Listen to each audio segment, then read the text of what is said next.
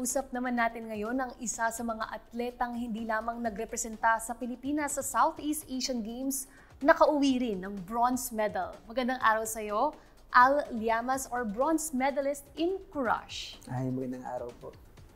On behalf of Global Daily Mirror, congratulations sa iyo, Al. Maraming salamat po. Ano naman yung pakiramdam mo ngayon? Okay naman. Actually, ano, more on recovering sa pagod ng biyahe pa uwi. And then, uh, it's still very surreal. Parang uh, we had this party, after party doon. And then sabi, we're planning on having like a dinner here all together. Pero right now, we're just really trying to rest up. Lalo, ano parang late yung naramdaman mo yung pagod and yung sakit ng katawan. So yeah, but I'm very happy with what happened.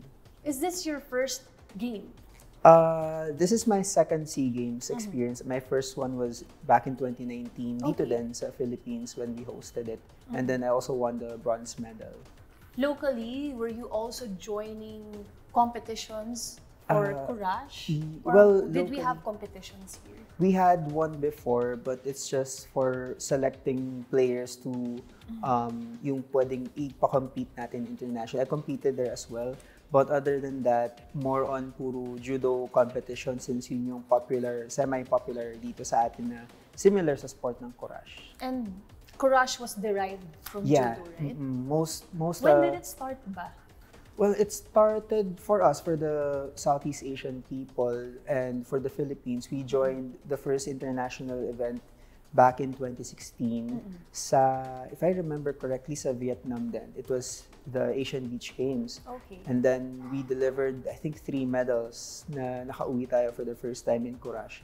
And then again 2017 uh, Asian Indoor Games and then I was one of the people who uh, entered the competition and then I got a, a bronze medal as well. Wow. So yun parang from from there uh, a lot of the players and athletes from judo team nagtatry na sila ng Courage as an event and then that's where we finally made a complete team. Wow.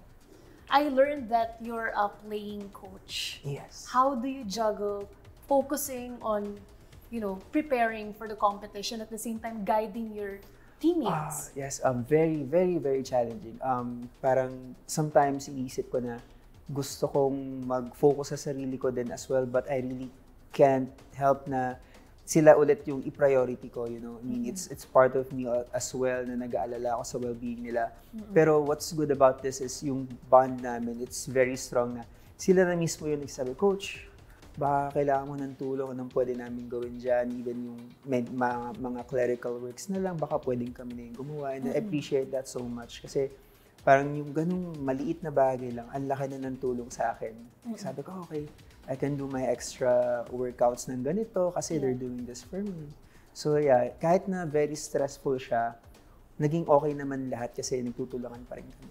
Yung mga inaalagaan mo, are they younger than you or they're also older than you, some of them? Uh, yeah, most of them are younger than me. Some are older. Tapos, uh, but if I may ask, yeah. how young are you? I'm 29. I just Wow, turned 29 29 na. the other day. Okay. And how many of them are you training? Uh, nung, when we entered the bubble training, total of us was, I think, 22. 22 people, including the coaches, other coaches. How many coaches were there with you? Uh, inside there, tatlo kami eh. Pero we had one more who was outside, our strength Okay. and conditioning coach. But he was still guiding us. You know, he gave us the progress we needed to do, and then we had we had time to call him whenever we needed something edited, ganyan, or if ever na maki- kailangan namin ng advice from him. So yeah, we still worked as a team. And uh, you got the medal despite Yes, Training with them. exactly. I mean, uh, I, I felt sad at first, kind of um, more on disappointed at myself because I I knew that uh, there could have been a better result, you know. Okay. Pero all in all, I was happy and very, very worth it yung paghihirap namin, especially when I saw everyone else win. Parang, ah, okay. When you said that uh, you Yeah. could have done better, what was that? Do you would you like uh, Well, um, evaluate yourself? oh, Ano- yeah, what, yeah. What It's- have you it's- done? What could have you done like better or done Well, wrong? I'm I'm guessing it's uh, already just between the fights na mismo. When I was already there, there are some um, mistakes that happened during the fight that I wish I could have done, not have done, you know. Okay. Pero sabi naman din nila, I mean, they were all behind me na, hindi coach, okay lang yan, you did great. We, you still won a medal. So I was like, okay, okay, Of I'm, I'm happy with this. And then Malaking everyone, yes, everyone else won. Parang at first, ano eh, medyo, there are lots of eyes on us na yung preparation namin could have been, you know, longer and better since uh, we are a contact sports and di ba yung situation natin here with the alert levels going up and down, hindi kami pwedeng mag physical training kasi ng agad-agad. We needed the support talaga. Tapos we had, I think, less than two months to prepare. So people were really eyeing us na, ah, ano kayang mangyayari dito sa mga to? Kaya ba nila? So yeah, at, at, at the end of the day, uh, we got nine medals out of 10. I'm very, very happy with the results. That's what I was gonna ask. Um, ito ba yung martial arts na pinakamarami tayong nasungkit na medalya? Uh, I think so. So far, ito yung pinakamadami. Um, right now, competing na yung judo team natin. Hopefully, they also deliver. You know, we're also rooting for them. I mean, for me, lahat naman nung uh, mga grappling sports kasi yan, lahat kami magkakapatid eh. So we support each and every one, especially sa martial arts na world. So yan. So far, I, if I'm not mistaken, kami yung pinakamadaming naiuwing medal sa martial arts. Ang galing. What did you have to go through sa trainings nyo? Any special training specifically for SEA Games or pareho lang ba? Um, yeah, actually, we did we did a lot this season.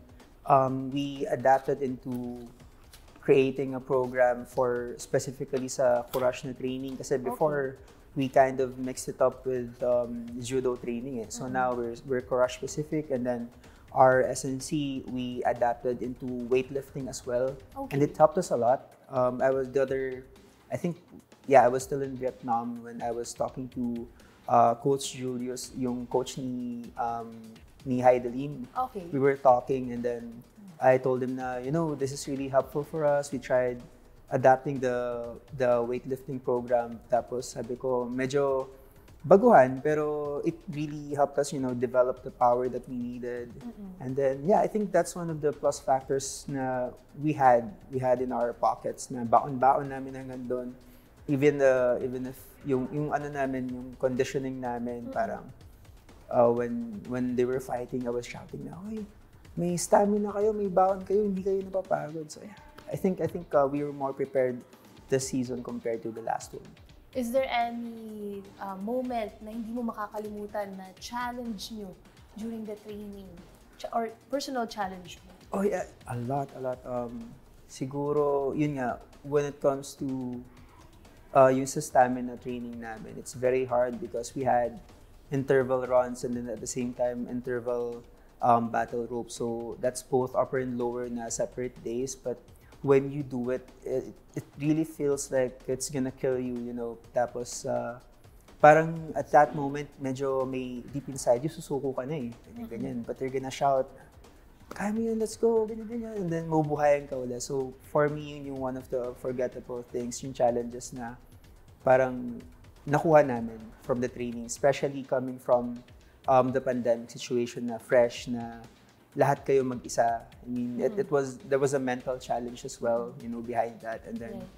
being surrounded by the people na lahat ng ginagawa niyo, mahal niyo, ganyan, and then they're supporting you. I think yun yung naging breakthrough namin. Dito ka ba sa Manila nag-training? Yes, yes. Dito sa Manila, um, we had our training venue somewhere in Taguig before kami Okay. pumasok sa bubble training. And then, when we entered the bubble training, dito yun sa may Phil Sports sa Pasig. When did you start Oh, the, Courage? Or did you start with judo first? At Oh, what yeah, I- age? I started with the judo when I was seven. I was seven years old, so very, very young pa. Tapos, I transitioned into Courage. Uh, this was, ano na eh, 2017. Mm. 2017. So, yun. Since very similar nga siya, parang I only had to learn the different rules and then some variations of techniques na allowed sa Courage. And yeah, it turned out to be okay, you know. Parang sabi ko, ah, bagay, bagay ito sa akin. Ganyan. And who inspired you or what inspired you to get into martial arts? Oh, well, that would have been my dad. You know, siya yung nagpasok sa amin. Me and my siblings, sila, siya yung nagpasok sa amin sa uh, world ng martial arts when we were kids. And then, Okay. that actually helped a lot since um, when we were entering college, we were able to use that to get scholarships. You know, napatapos namin yung sarili namin mag-aral. So I'm very proud of that moment. Very inspiring. So this sport actually um, also made you uh, go through college. yes. Okay. And uh, your parents are both nag-judo? Uh, yeah, my, my mom isn't here anymore, but when when she was alive, both sila judo players I din see. talaga. Yeah. and how many siblings do you have na naglalaro din? Oh, a lot. There's too much eh. But um, yung mga kasabay ko sa UST before na nag-varsity was dalawa. Yung, uh, yung uh, older brother and sister ko. Ah, okay. So talagang lahat kayo. And Yeah, specifically lahat. judo. Specifically judo, Ikaw yes. lang nag-courage. Yes, oh, ako lang yung nag-courage talaga. Okay. Yeah. Nice. And uh, ano naman sa tingin mo during the game, no? Yung, I wanted to talk about it, yung lamang mo dun sa kalaban mo that time. What was your mindset? Or ano yung pakiramdam mo during the prelims? Oh, I was, I was, I was really, I was, I was, um, how can I say this? Parang, I was in the zone. Maybe that's that's the correct term, you know. Okay. Parang, I, I felt good. I felt strong. I felt like uh, when I, when I held the uniform na parang, uy, ang gaan naman nito. Parang ganun. I felt Right. really strong and really good. So, yeah, I think that's a that's a good feeling. And then at the same time, um, I wasn't oh, stressed about it, you know. Pa- paano mo nagawa na relax ka suddenly on that day? Yeah, well, actually, ano eh, more on, I, I can, um, parang, when I feel na stress ako, kinakabahan ako, there's this thing on my mind na nasa-switch ko siya into excitement. You know, na parang, okay, I want to fight now. I wanna, I wanna, I wanna see them. I wanna try to feel, I, I want them to feel that I'm strong like this. I, I want them to see what I can do.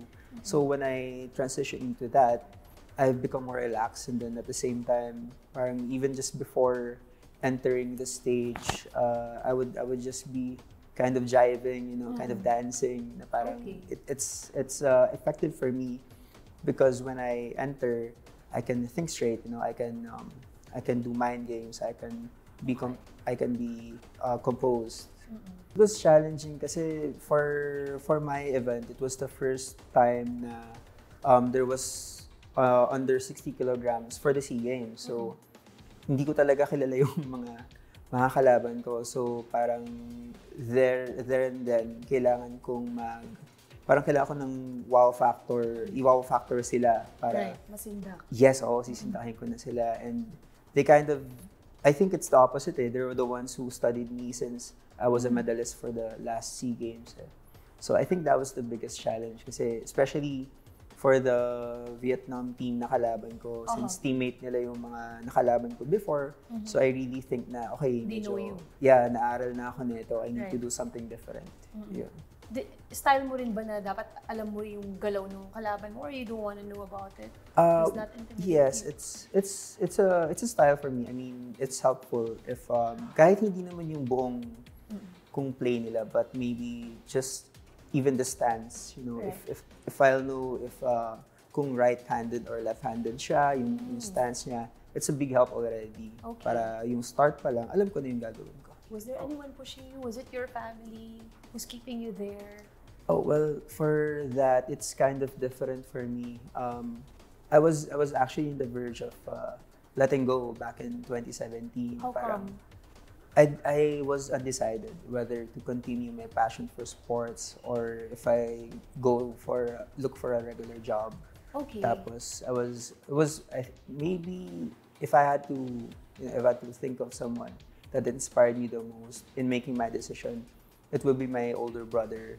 Kasi uh, lahat nung pag may mga struggles ako, siya yung lagi kong nakakausap and then this is one of those things na parang sabi niya sa akin, ah, ikaw, isipin mo, hindi naman lahat ng tao may ganitong talento, you know. Whether hindi naman din permanent yung lakas ng katawan mo, so, one of these days, magre-retire ka na din. But regardless of that, you can still look, look for a job, di ba? Yeah. Bakit hindi mo sulitin yung talent and yung gift na binigay sa'yo while you still can? So yun yung sinabi niya sa akin and then I was I was pretty rough uh, rough on myself na sabi ko, hindi okay, ano, next competition if wala akong mauwing medal, quit na ako. Sayang ganun. And then I, the competition I chose was yung 2017 na Asian Games. And then I was like, okay, uh, this is 64 countries. Ewan ko na lang kung mag-place ako dito. Pag hindi, quit na ako. And apparently, I, I placed third place. Kaya, Right. okay, this is for me. Yeah, it's a sign. This is for me. So I, I took it as a good sign. I took it na, okay, um, I would I would do this 100%. You know, I would Okay. push myself up until the last minute na kaya ko pa. And then when I'm done, I'm gonna continue to inspire other people to try to go with this path as well. Your coach. Yeah, that's why I became a coach as well. Okay, so parang um, uh, the support that you get from this sport, from continuing this career, that's what's driving you. Yes. If uh, Courage wasn't here or Judo wasn't here to start with, what would you want to be? Oh, I don't know. uh, maybe a musician. Yun. I, Okay. Yeah, maybe. Maybe I'd, I'd um, drive my passion into music since I also play uh, music naman back in when I was in high school. So maybe, maybe yun yung papatunguhan ko if not the sports world. So what are we expecting from Al after SEA Games? Do we have upcoming competitions you're looking at or for you're training for? Uh, ano yung path na iti-take mo after this? Uh, well, yes, there's there there are more competitions upcoming. Um, hopefully, if we get included again for the Cambodia Sea Games, so that's automatically one na. And then the Asian Games for supposedly September they got moved, they got pushed back. Pero tuloy pa din naman yun, so that's another. So it's the earliest The earliest is the Should Asian be the Games. Asian Games. Mm. Games. I'm just not sure if the, if it's gonna push through na parang early next year. But if it does, yun yung earliest talaga. Okay. Mensahe mo naman para sa mga young athletes or aspiring athletes na gustong ma-achieve yung tagumpay mo sa SEA Games. Hi everyone to all the kids who wants to, you know, um, go for their passion, go for what they love. Uh, advice ko sa inyo is you should just try, try and do it. You know, you'll never know what will happen and isipin nyo walang mawawala sa inyo. Kapag ka nandun na kayo, mararamdaman nyo na kung ah, para sa akin ba to and people around you are definitely gonna support you. Kaya just go for it. All right. Thank you so much for Alright, your time. thank you so. Congratulations Thank you. again. That was Al, and he was the one who brought us bronze medal in Courage for the Southeast Asian Games. Congratulations. Thank you so much.